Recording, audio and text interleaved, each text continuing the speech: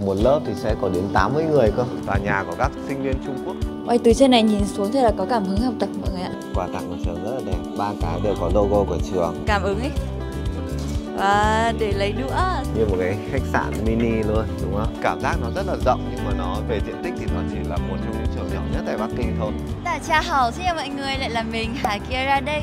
Ngày hôm nay thì mình và thầy Quốc Tư đang có mặt tại trường Đại học Ngôn ngữ Bắc Kinh北京语言大学 và hôm nay mình sẽ dẫn các bạn đi thăm ngôi nhà thứ hai của mình nhé Và ok, không nói nhiều nữa, chúng ta cùng Bắt đầu thôi.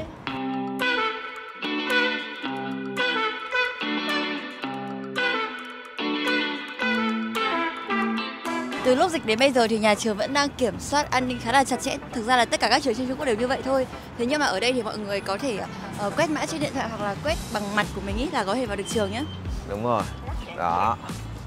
Trước mặt các bạn đây là một bia đá. Trên bia đá có khắc chữ là Tây Chiêng Ủy Yến Tà Chế tức là Đại học Ngôn ngữ Bắc Kinh. Các bạn hãy theo chân mình đi đến tòa đằng trước nhá. Tòa này thì ờ, trước đây nó là chủ lấu. Chủ lấu thì nó có nhiều công năng lắm. Vừa là treo chiếu vừa là bàn cung vừa là dạy học vừa là các thầy cô làm việc ở đây luôn. Và phía bên kia cái tòa nhà đỏ đỏ là tòa nhà của các sinh viên Trung Quốc theo học ở bên này. Thỉnh thoảng thì mình có một vài môn về nghệ thuật các thứ học cùng sinh viên Trung Quốc thì mình sẽ học ở đây. Rồi sau đây mình sẽ dẫn các bạn và Hà Kia ra đi thăm phòng học của chúng mình nhé Hello mọi người. Đây chính là phòng học ở Bắc ngữ. Nó rất là rộng, trông như kiểu là phòng để học hội nghị luôn á. đúng rồi đây là giảng đường lớn. Bình thường thì à, ở bên Đại học Ngôn ngữ Bắc Kinh thì thạc sĩ thì sẽ học có một lớp thì sẽ có đến 80 người cơ. Vậy thì sẽ cần những cái phòng học lớn như thế này. Em biết cái bảng này để làm gì không? Tại sao nó lại có hai bảng? để xóa bảng cho đỡ phải bắc thang lên ạ. đúng rồi. Với cả để những cái gì mà thầy cô viết rồi thì nó có thể lưu lại ở trên. Còn đây hai cái bảng này là hai bảng thông minh mọi người nhìn thấy ở đây có các nút không? Đấy thì chúng ta có thể ấn nút và chúng ta sẽ lật trang thứ để điều khiển PPT được luôn. Một điều rất là hay ở các trường Bắc Kinh thì đều có một cái dàn máy sưởi siêu ấm áp như thế này đấy. thực ra đại học ngôn ngữ Bắc Kinh mình cảm giác nó rất là rộng nhưng mà nó về diện tích thì nó chỉ là một trong những trường nhỏ nhất tại Bắc Kinh thôi. Ừ, Oh,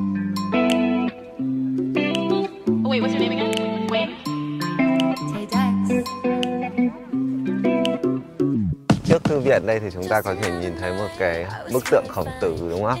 Và phía bên tay trái mình đây thì sân vận động rất là lớn bình thường. Các sinh viên cả sinh viên Trung Quốc chủ yếu là sinh viên Trung Quốc thôi sẽ tập thể dục rồi. Họ có môn thể dục mà họ sẽ tập hết ở cái sân này.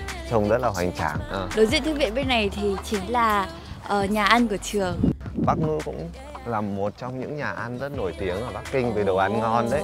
Bởi vì ở đây là họ chia làm 4 tầng cơ. ờ. Hiện tại ở Bắc Kinh thì tầm âm 5 độ thôi mọi người ạ. Và ở bên này ấy, mọi người rất là hay làm cái cửa như thế này. Đây để chắn gió. Trong này thì bọn mình cầm một cái kinh khủng hơn. Đó, cái này còn dày hơn nữa. Hai cái. Trong này còn thêm một lớp nữa Thì mới chắn được gió bên ngoài. Vào trong này thì cực kỳ là ấm luôn. Ấm áp luôn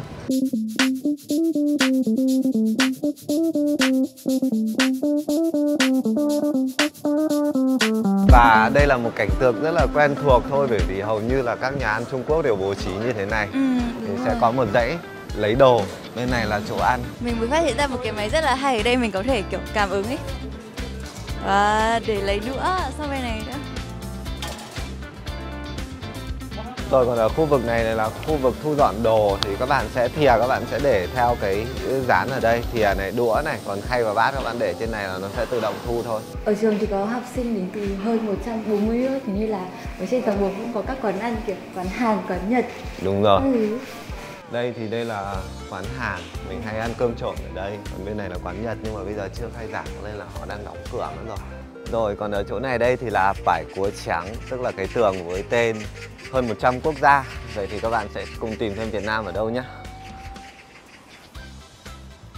Đây Việt Nam chính là Việt Nam. Mình hay thường check in ở đây và mình định vị rất nhanh thôi.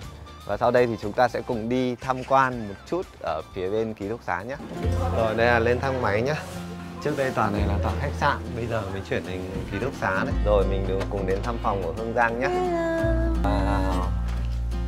Như một cái khách sạn mini luôn, đúng không? Xin mời mọi người. Bên này là hai giường cho hai người. Ở trên Ở đây là một cái đầu giường đều có hai cái kệ. Bên này một cái bàn học. À, kệ đấy để đồ, để sách vở Đúng rồi, đây. Với cả hai tủ quần áo. Thế còn cái các bạn là quan tâm nhất là nhà vệ sinh. À, mỗi phòng còn có một cái tủ lạnh mini nữa. Wow, nhà vệ sinh riêng rất là sạch sẽ luôn nhá. Ồ, ở đây còn có cả tivi, đèn học, tủ lạnh mini và ấm nước luôn này. Thoáng, cái này là nhìn ra đâu em nhỉ? Đây là view. Thư viện à? Dạ vâng. Ok. Còn đây là phòng giặt đồ.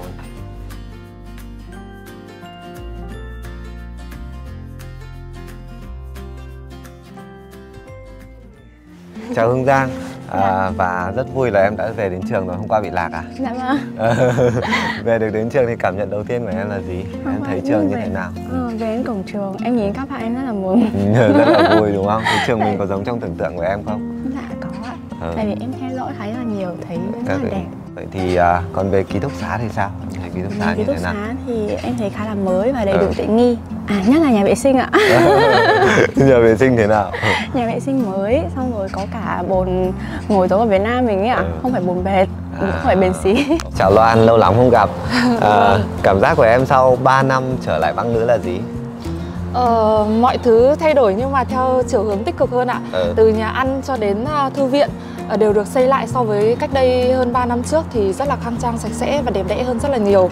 đúng Ờ, rồi mình vừa lên nhà ăn tầng 3 rất là rất là chill, chill, đúng không? có cả Ừ. khu tự học các thứ luôn ạ. thư viện này là mới lúc anh ở đây thì cái thư viện này chưa có và Đúng họ đang sửa lại quay hết sửa lại bây giờ thư, thư viện mới hoàn toàn Theo như được biết thì đây là lần đầu tiên mà thầy Tư trở về thăm lại trường xưa sau hơn 3 năm dịch thầy nhỉ?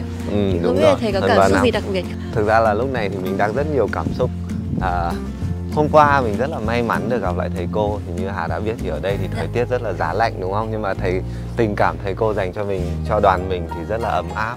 Đó thì sau hơn 3 năm về thì thực ra trường không thay đổi nhiều đâu có một số các cái kiến trúc mới thôi. Còn ở đằng sau mình đây thì là Shin Dung Khở Lấu tức là tòa nhà tổng hợp mới.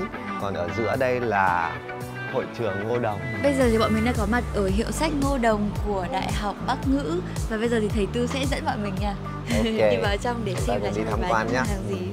Vừa mới bước vào nhà sách thì các bạn sẽ thấy ở đây có rất nhiều đồ lưu niệm rất là đẹp luôn. Ừ, Rất là phong cách Trung Hoa mọi người ạ. Đúng rồi phong cách trung hoa các món quà và quần áo các thứ đều có logo của trường ở đây có một cái, cái quầy mà Wow, đây là bảo bối của các bạn ôn thi.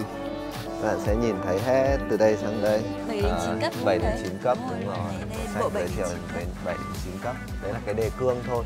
Ở bên này các bạn sẽ nhìn thấy các quyển sách rất là đáng yêu thì cái này sẽ dành cho các bạn trẻ em. Và đặc biệt ở trong này thì sẽ có một phòng trà cho mọi người có thể ngồi đọc sách hoặc là thảo luận đến công việc. Thì ở bên đây thì chúng ta sẽ còn nhìn thấy được rất nhiều các cái giáo trình nổi tiếng. Ví dụ như là giáo trình phát triển Hán ngữ này. Đây giáo trình Hán ngữ 6 quyển này. Xin mục tiêu hán ngữ này. Em su thông uh, su thông hán ngữ rất nhiều đầu sách và giáo trình.